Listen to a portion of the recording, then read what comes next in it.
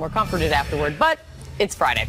Coming up, President Trump breaking yet another presidential norm, taking on the head of the Federal Reserve, the head of the Federal Reserve that he appointed. That's next. How do you?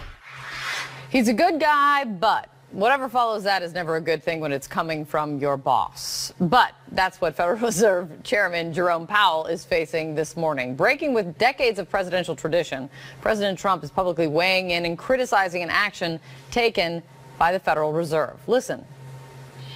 I, I, put a very good man in the Fed. I don't necessarily agree with it because he's raising interest rates. I'm not saying that I agree with it, and I don't Real necessarily agree too. with it. I yeah. must tell you, I don't. Yeah. Uh, I'm not thrilled. Uh, because you know we go up, and every time you go up, they want to raise rates again, and I don't really, uh, I am not happy about it. Uh, but at the same time, I'm letting them do what they feel is best.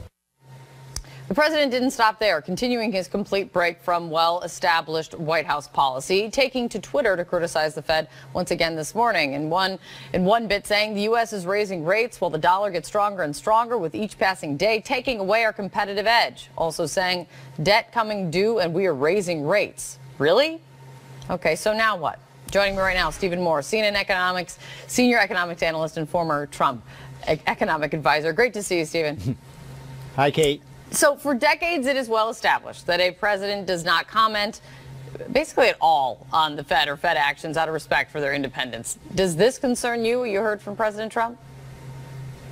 Well, look, let me correct you on that. Uh, I've followed this for a long, long time, for over 30 years. It, it actually is not true that presidents uh, don't try to intervene in Fed policy. And I'm not saying this approvingly, but we know going back to Richard Nixon that presidents always try to get uh, the Fed to ease up and to keep low, low interest rates to help the economy, especially in election time. So this is nothing new, the kind of trying to bully uh, the independence of the Fed. I do wait, believe, wait, by the way, that cool, the, so wait, wait, wait, you're not cool with this. You're, wait, are you cool with this? I'm not. I don't think it's a good idea, but I'm saying it's it just happens. I mean, this is the nature of politics. Every president wants low interest rates because they want more jobs in the economy to boom. And incidentally, you know, we just got a new economic uh, statistic out this morning, Kate, that unemployment insurance claims are now as low as they've been since the Beatles were still playing back in 1969. So the the economy is just booming right now. You've got the kind of best of all worlds in this economy, where you have really low unemployment, high growth and low unemployment. Now, I've talked to Donald Trump about this issue about Fed policy. Uh, okay. He and I had a lot of discussions about this. He believes, look, think about this, Kate. how did Donald Trump make his money? He's a real estate guy, right? He does real yeah. estate investing. Real estate people love low interest rates, right? So he, I think he looks at the world in that prism of, of trying to keep rates low. I happen to think that But doesn't the, you your know, prism need to change when you become president? It's not day one of his presidency, Steve.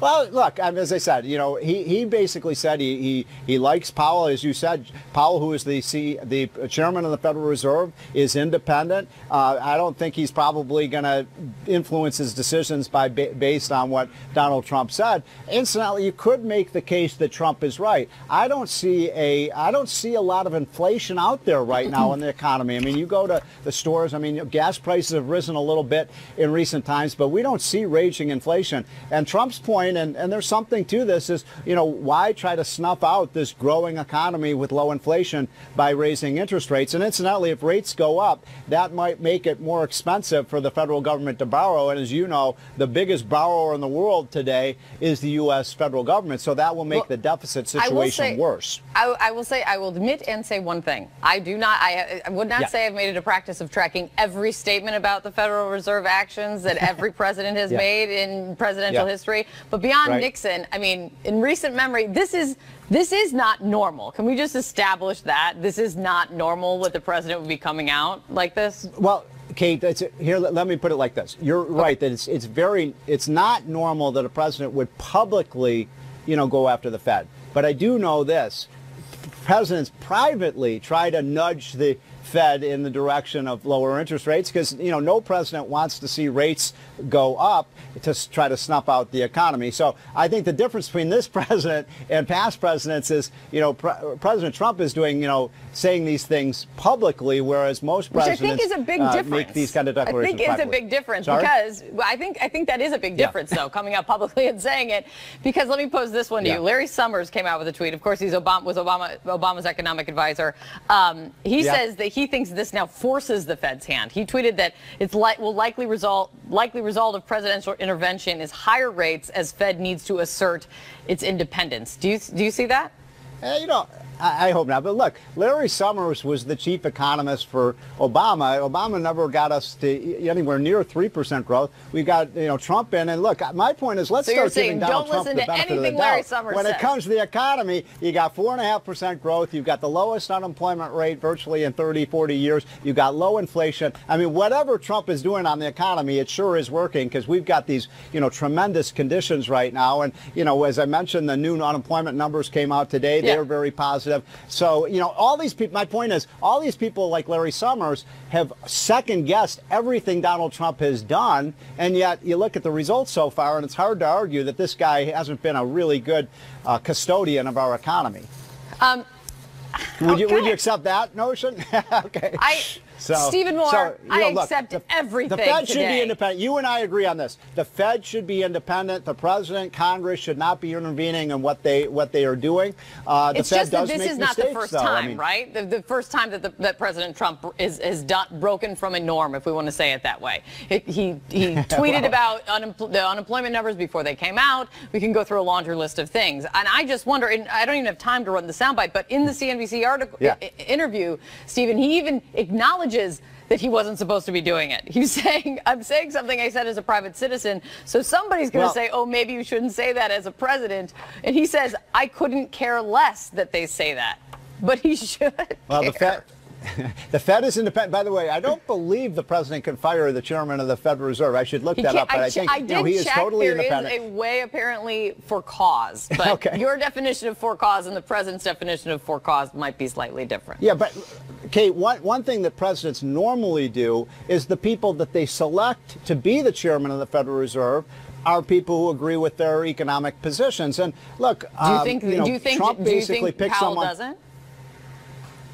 I think he does. I think there's an honest disagreement right now among economists about whether the Fed should be raising interest rates. And, you know, I think it's, a, as a, my own opinion, it's a close call, one way or the other. Trump, but again, Trump is a real estate guy. He loves low interest rates. He wants to keep those interest rates low. And, you know, you look at the inflation rate right now, it's hard to say there's a, a compelling case for higher interest rates. I'm an independence guy. That's what I am. I land on the independent side of things. Great to see you, Steve. Well, you do a lot of shopping, Kate. When you go out and shop, are you finding the prices are rising dramatically for things? I mean, uh, you go to You Walmart today, you, you know don't see where I'm the seeing prices, prices rise? You know where I'm seeing prices rise? Dairy. And other Yeah, well, other commodities that are being hit by tariffs right now. That's and gas at saying. the pump, you know, so that's true. Good to see you, yeah, Stephen. but look at cell phones, look at look at all the kind of technologies, and those are going down in price. All so, right. I uh, see you what know, we're I doing next my time. point is we're, a just going to go shopping. right now. I, that's why I see our next interview is going shopping for something. We'll see. Your idea of shopping it. might, Okay. might be slightly different, though. All right, We're great going to to see you. Walmart though. That's where prices are low. I've, I've got a, the, the best super Walmart in the country is in my hometown. I'm just saying. Thanks, thanks, Stephen. It was a jaw-dropping moment. The U.S. spy chief flabbergasted on stage about an invitation for Putin to visit the White House. Why didn't he know? Why wasn't he given a heads up before the announcement? And what does it say about the current state of affairs in the administration? Does it mean anything for Dan Coats' future? I have nothing but questions, it appears. We're going to find out next.